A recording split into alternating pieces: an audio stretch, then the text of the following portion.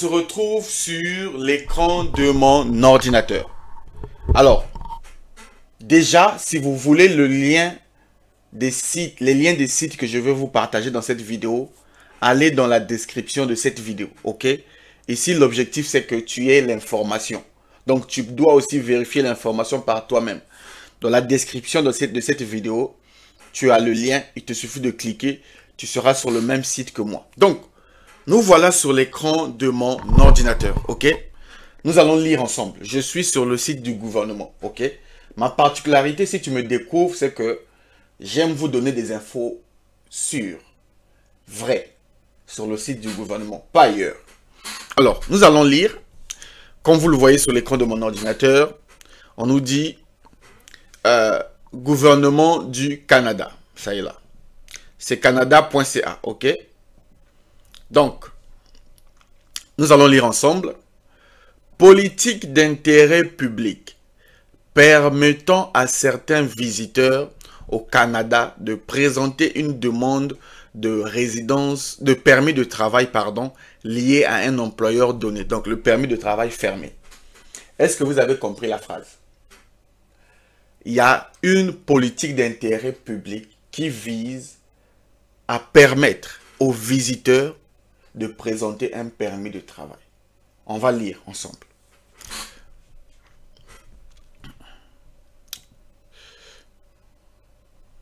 Lisons.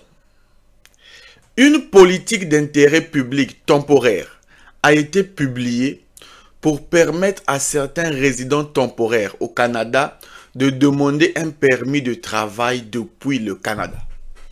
Donc, oui, tu peux venir en tant que résident temporaire, donc en tant que touriste. Une fois au Canada, tu peux demander un permis de travail. Les amis, c'est pas moi qui le dis, c'est pas moi qui fabrique ce site. Je vous montre l'info.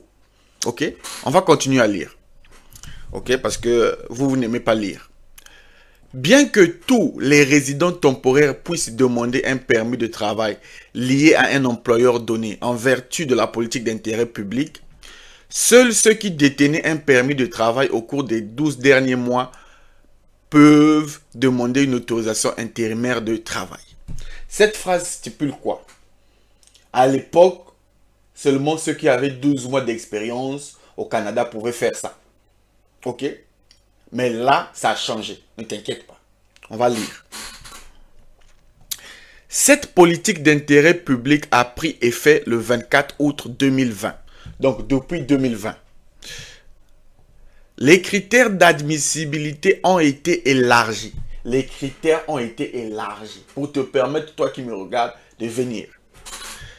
De façon à permettre à tous les visiteurs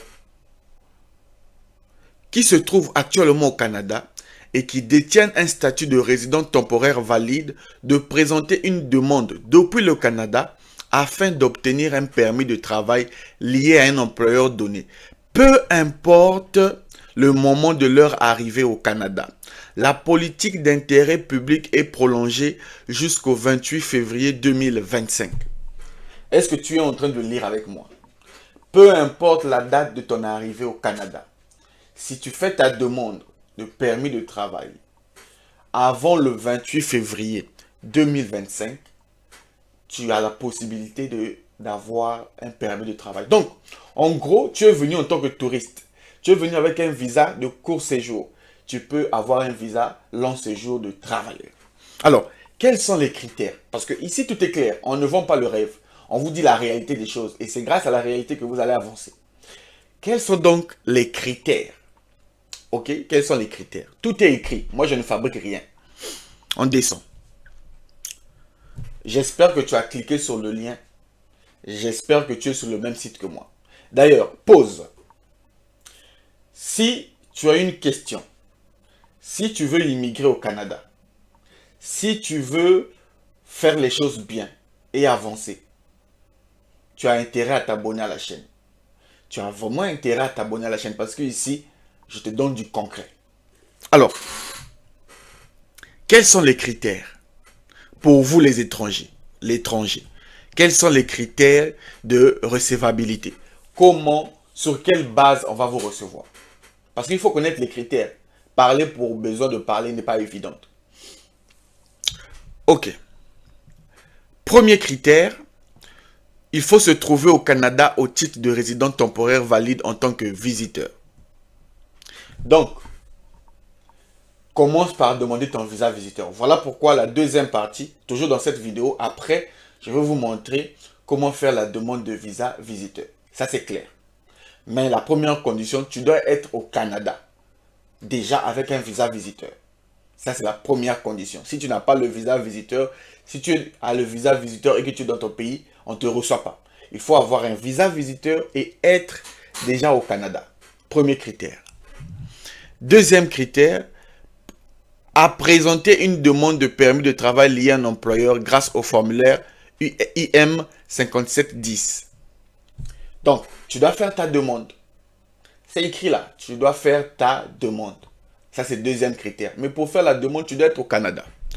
Troisième critère, est demeurer au Canada avec un statut valide depuis la présentation de sa demande et à l'intention de rester au Canada pour une durée, pour toute la durée de sa demande. Troisième critère, tu dois être au Canada jusqu'à ce que ta demande soit validée. C'est pas que tu sors, tu reviens. Tu dois être sur place. Et le dernier, parmi les critères, présenter sa demande au plus tard le 28 février 2025. Au plus tard. Donc, le 28, on ferme les portes. Le 29, si tu viens demander, on ne va pas te donner. Mais au plus tard, le 28 février 2025, tu peux faire la demande. Les amis, c'est écrit en noir et blanc. Je vous ai donné le lien dans la description. C'est pas moi. Tout est écrit là. Allez-y lire. Donc, voilà les quatre critères à respecter. Maintenant, comment faire sa demande de visa visiteur? Ça, c'est une partie intéressante. Tu es convaincu de cette info? Tu as encore quelques mois devant toi. Tu peux avoir ton visa visiteur très vite. Comment faire sa demande de visa visiteur? Je vais vous montrer ça dans cette vidéo. OK? Donc, ce que nous allons faire, nous allons aller sur Google. OK? Je vous montre tout. Hein. Je suis transparent. On va aller sur Google, tu vas aller sur le site du gouvernement, ok? Parce que le site du gouvernement, c'est là que nous avons des infos. Tu vas taper www.canada.ca. Si tu ne connais pas ce site, sache que tout se passe sur ce site. Tout se passe sur ce site. Tu fais entrer. Nous voilà sur le site du gouvernement. On va le mettre en français. Voilà, on a mis le site officiel du gouvernement du Canada. On va descendre immigration. On va descendre dans visiter. J'espère que vous me suivez. Hein. Demander un visa visiteur. Comment présenter une demande de visa visiteur? Alors, nous voici ici. Visa visiteur. Comment présenter une demande de visa visiteur? On nous dit ici, pourquoi présentez-vous une demande? Moi, je vais mettre pour visiter à titre de touristique. Donc, je mets tourisme. Je fais continuer.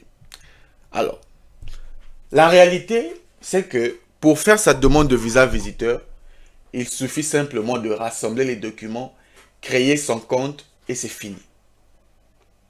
on ne t'a même pas dit d'aller dans une agence ou de payer quelqu'un. Rassemble les documents et viens faire ta procédure.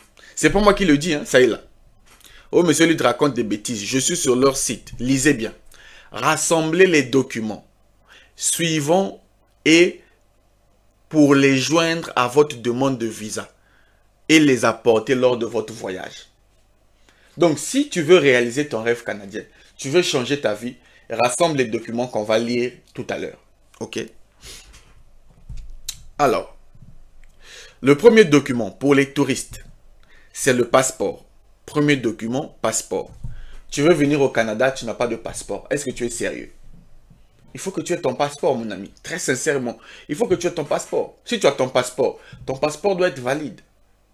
Tu ne peux pas rêver le voyage, tu n'as pas de passeport ou ton passeport expire dans deux mois. C'est pas sérieux. Va faire ton passeport. Conseil d'un frère, conseil d'un ami. C'est le premier document qu'on vous demande ici, le passeport. Le deuxième document, c'est le recours au service d'un représentant, s'il le faut, le cas échéant. Mais ça, c'est pas obligatoire. Les renseignements sur la famille, ça, c'est des formulaires. On appelle ça IM. IM, par exemple, 5645. Tout ça là, vous remplissez ça en ligne. C'est pas maintenant. le gouvernement va vous donner des formulaires gratuitement. En ligne, tu vas remplir sur un ordinateur. Donc ne te casse pas la tête. Prépare seulement déjà le passeport.